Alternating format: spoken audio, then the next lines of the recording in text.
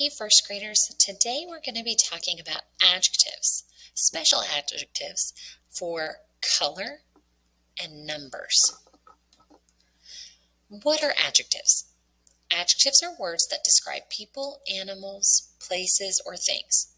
Adjectives describe nouns. An adjective can describe a noun's color, or an adjective can also describe a noun's number, or tell how many. For example, Fran's backpack is blue. Blue is a color word, which is also an adjective. It tells what color the backpack is. It describes the backpack. Here's another example. Pour four glasses of milk. Four is a number, but it is also an adjective. It tells how many glasses. Let's try some. Read each sentence. Identify the adjective that describes color or number.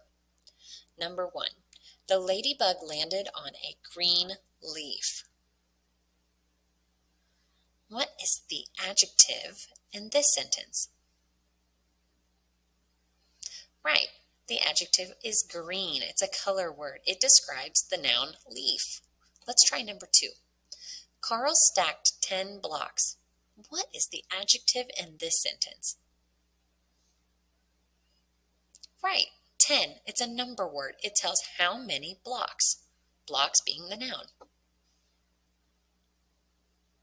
When you are writing, try to incorporate these adjectives for colors or numbers if it makes sense with your writing. This will add a really great detail.